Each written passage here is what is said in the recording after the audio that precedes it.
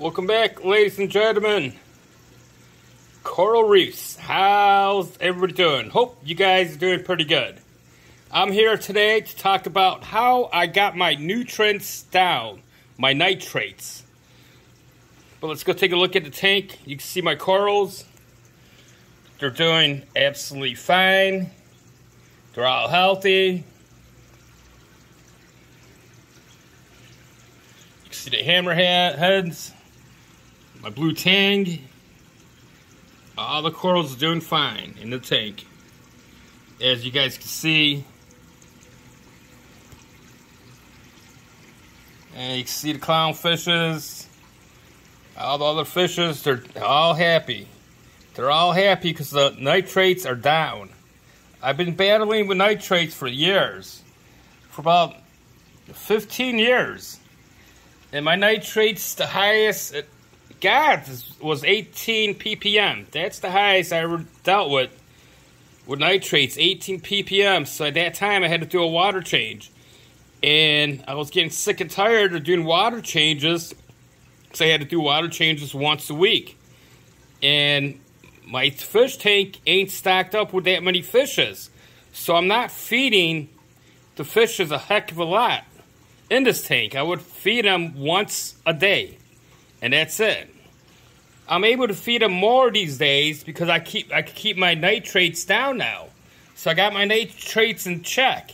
People were telling me for years, I need a skimmer, I need a skimmer.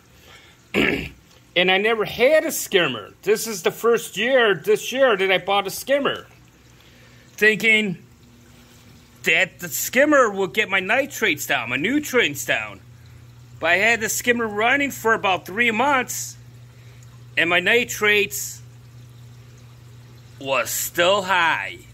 Yeah, it wasn't as high. The highest it would get with this skimmer will be 15 ppm. So the skimmer worked a little bit, but it did not absorb 80% of the nitrates. Just a little bit.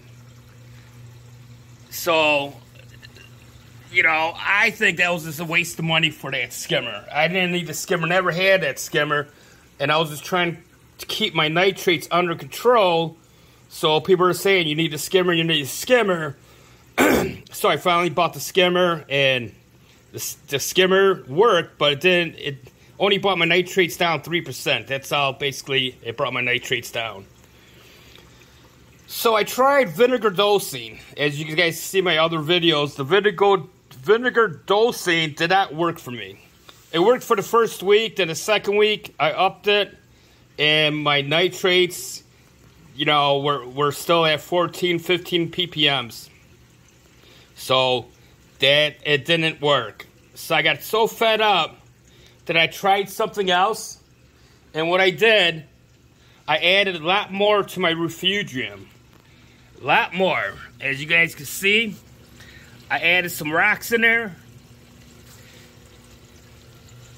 And more algae.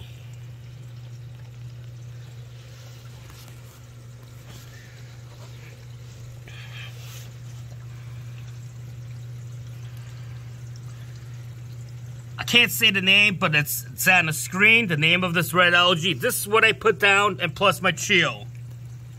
I had that chio in there for about eight months, and it's not growing. I don't know why it's not growing, but it's not growing with all the nitrates I had. But you can see it's still, it's nice and green, but it's not growing. But ever since I added these red guys, my and my nitrates started started coming down.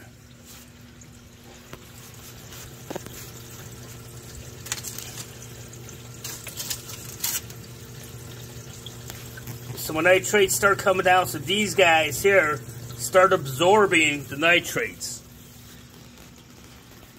So that's what it did, plus with a little help um, of dosing. And let's get onto the table and let me show you what I'm using to dose. So basically, I what I did, I added the rocks, added that, plus my skimmer going, and I added the miracle mud. And you can see down there, there's the miracle mud. I added all this in here, and it reduced my nitrates. down to 9.8. 9.8. My goal is to get it to 9.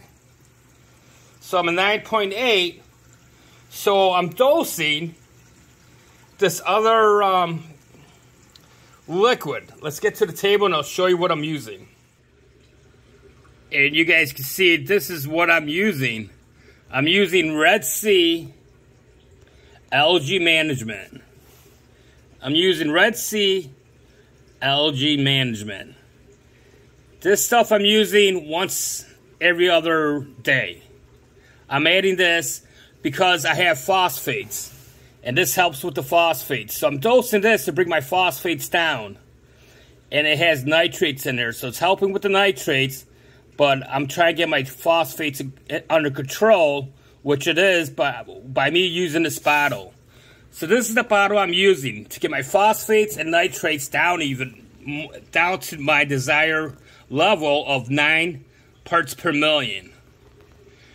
So this bottle here works. It's not, this ain't a sponsor video. I'm just giving a shout out to Red Sea because this bottle here works. It 100% works. It's working for me and I've been using it for a couple days now and it 100% works. Um, it brings my phosphates down. I use 5 milliliters every other day. That's all I use, 5 millimeters of this bottle keep my phosphates in check. But this is the magic trick right here. This is the bottle if you guys are having issues with your phosphates and nitrates are high, this is the bottle to try. So this is the bottle I'm using to keep my my nutrients in check. And plus, it's the rocks that I added to absorb a lot of the nutrients and the red algae that you can see in there. Not the coral. I put the coral in there so when people look, see it, you can see some corals in there.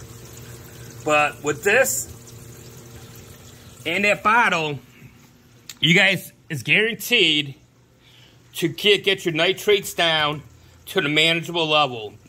Like I said, I was dealing with an 18 parts per million. Now I'm down to 9.89. So that works for me. And like I said, folks, Uh, I'll leave a link in the description to buy it on Amazon. If you guys use that link in the description. It helps the channel, helps me out, helps to grow my channel. I would I would very much appreciate it. But now, so that's what I'm using. So let's go to the table and let's check my nitrates. See what my nitrates are at today. All right, folks, I'm using the Hanna Checker. I recommend this. This is accurate, very accurate, I think, in my opinion, with all the test kits I've been trying for the last 15 years. So this is what I recommend. if you guys want to pick pick one up, I'll leave the affiliate link down in the description on Amazon where to pick it up. But this is what I've been using for the last three months. And trust me, I've been checking a lot. You know, I've, been using using a lot of um, other test test kits, and this is more this is more accurate than all the test kits in my opinion. So that's what I'm using to Hanna Checker. So what I did, I got some um, sample water for my tank. Going to turn it on. And I got C1, so I'll put it in until I get C2.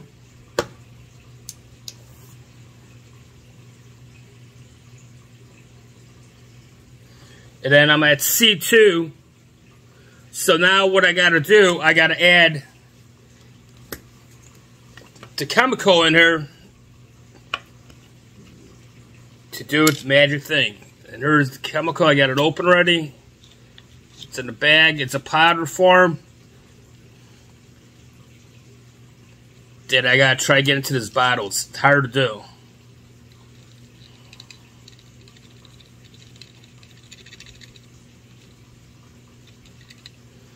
Alright, got it got it in the bottle. And what I do I clean this bottle, or I got to shake this for about two minutes. So while I'm shaking this, folks, I won't, I won't bore you. I'll come right back after the two minutes. All right, it's coming up to the two minutes of me shaking. Shake, shake, shake.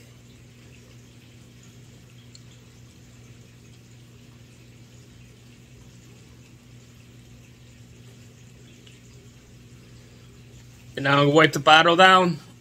And the next thing is, with this Hanna checker, I got to put it in there, press and hold, and the count time will come out for seven minutes. So it's scanning for seven minutes. And I don't want to have this on hold for seven minutes. So I'm going to leave it right here. So you guys can see the countdown. So you know that this is legit. I'm not doing no hokey pokey, nothing like this. Like I said, this, uh, this ain't a sponsored video whatsoever. As you can see, I don't have that many subscribers for anyone to sponsor me. I'm just doing, I'm just telling you what I'm using because it works for me after 15 years of using other test kits. This one here, the nitrate high, works for me. I like the test. It's easy, simple, and it's one of the most accurate tests out there. If you want something that easy, that simple, this is the one to get it, folks. Like I said, the link will be in the description. All right, guys, I'll come back before um, before the timer runs out, so you, so you guys can see like maybe a minute left. All right, folks. All right, now we got about 26 minutes, 26 seconds left.